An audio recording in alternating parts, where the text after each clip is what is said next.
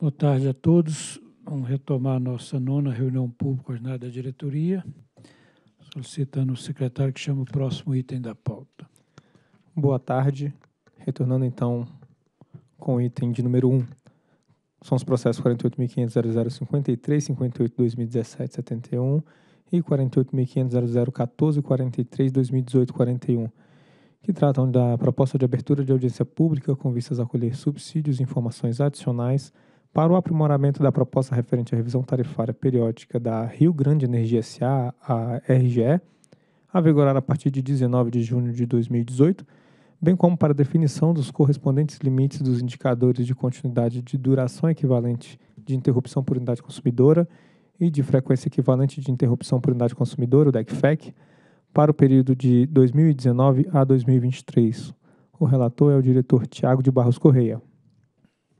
Boa tarde a todos.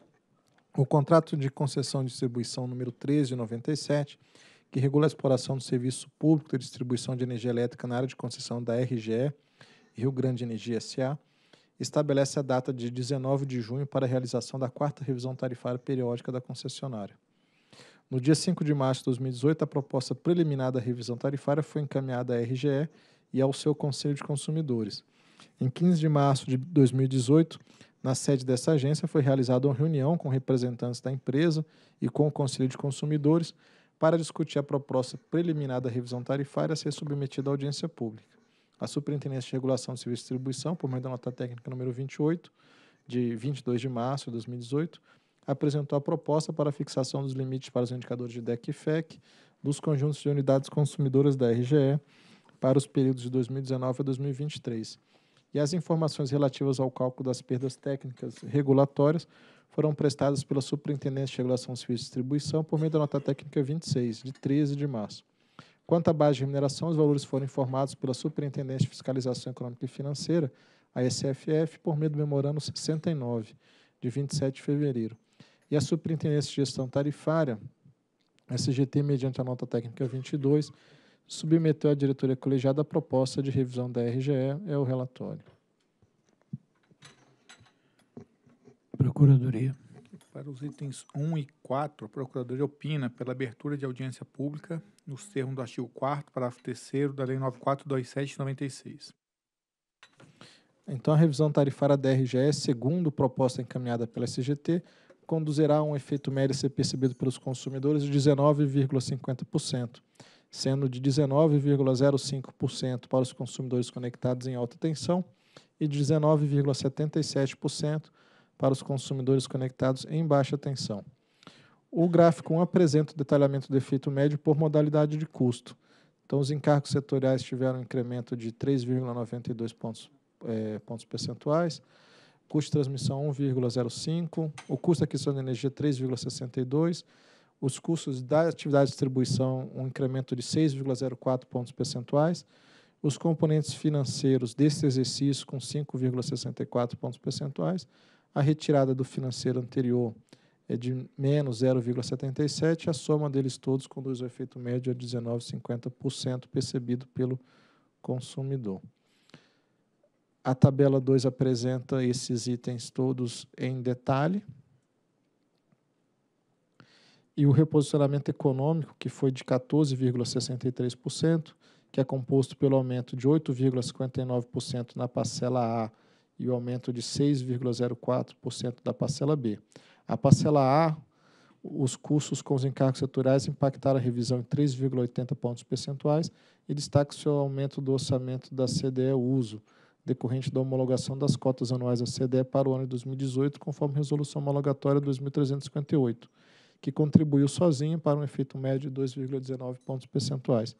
Já os custos de transmissão foram responsáveis por um impacto de 1,05 pontos percentuais. O efeito de aumento é resultado da utilização dos valores homologados na receita anuais permitidas a TUST de rede básica e TUST de fronteira para o ciclo de 2017 a 2018. Por fim, os custos com compra de energia impactaram a revisão em 3,77 pontos percentuais, 74 pontos percentuais, que contribuiu para esse resultado a diminuição dos montantes dos contratos das cotas, substituídos por compra em leilões, bem como o IPCA acumulado no período, que foi de 2,95%. utilizados para atualizar as tarifas dos contratos por quantidade e as receitas fixas dos contratos por disponibilidade. Também contribuiu para o efeito positivo o aumento no repasse das perdas não técnicas e técnicas regulatórias consideradas no atual processo tarifário. Gráfico 2 ilustra o efeito na tarifa por modalidade de aquisição de energia. Em relação às perdas técnicas na distribuição, foram calculadas levando-se em consideração as características do sistema de distribuição na concessionária, nos termos do módulo 7 do Prodist, e resultou no valor de 6,76% em relação à energia injetada. Já para as perdas não técnicas, a abordagem adotada se baseia na comparação do desempenho da distribuidora em áreas de concessão comparáveis.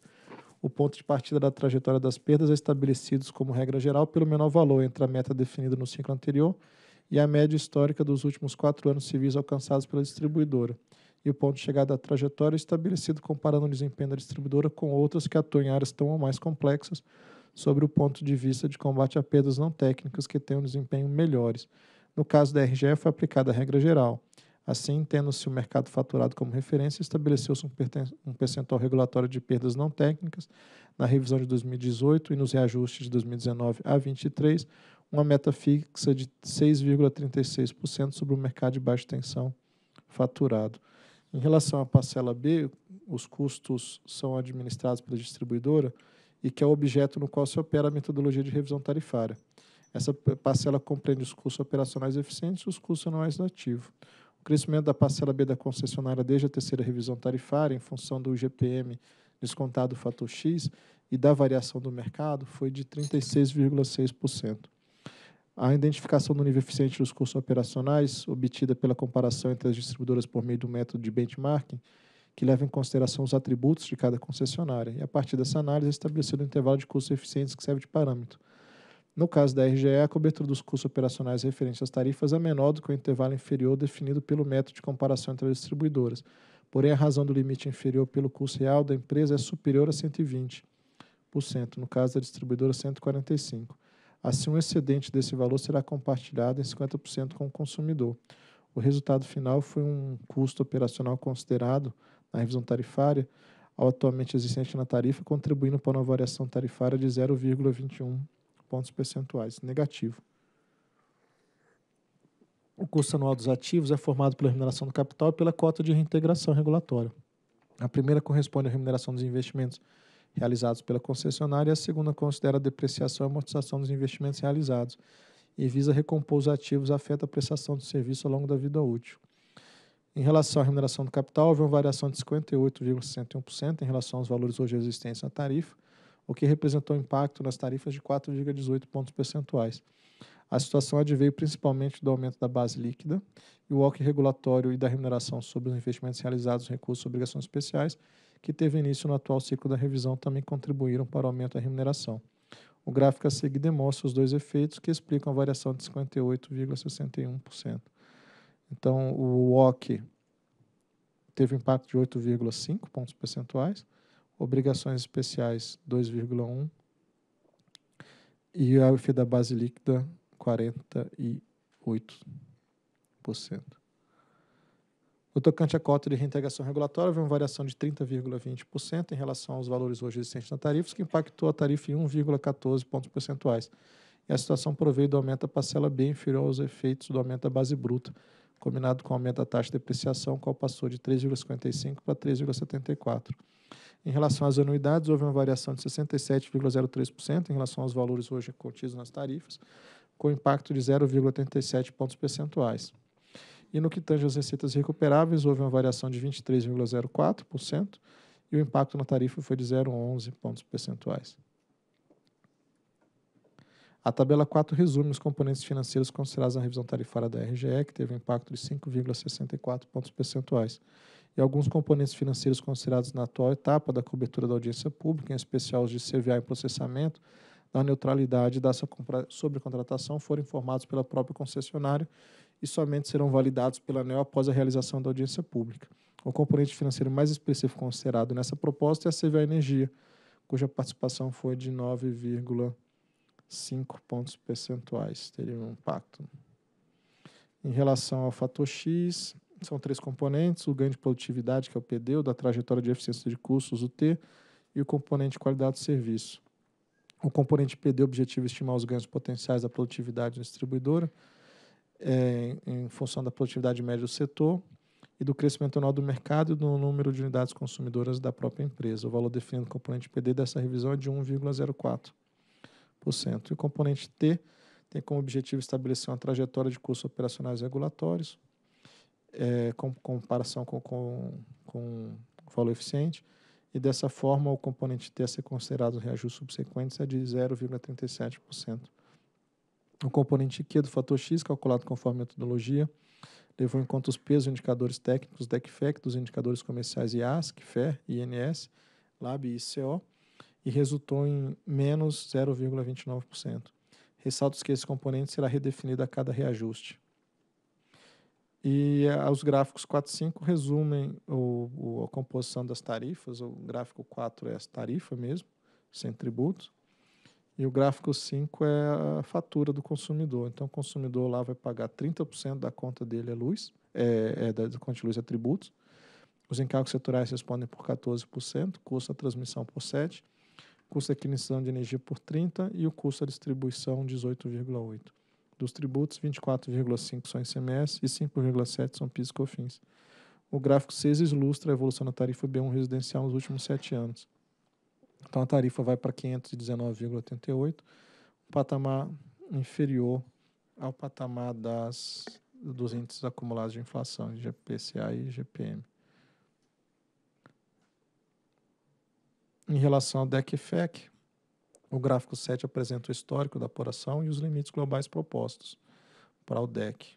Então a gente vê que é, para o período de 2019 a 2023, a redução anual vai ser da ordem de 0,76% no DEC e de 2,22% no FEC.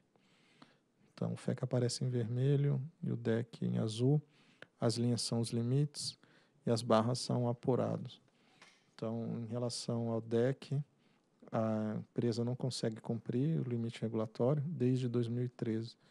Em relação ao FEC, está ficando perigosamente próximo do limite também. O gráficos 8 e 9 mostram a comparação da RGR, né, que são as barras no primeiro gráfico, comparação de DEC, com as empresas da região sul. Então a gente vê que a RGR caminha próximo do limite superior dos, dos limites de DEC estabelecidos para a região.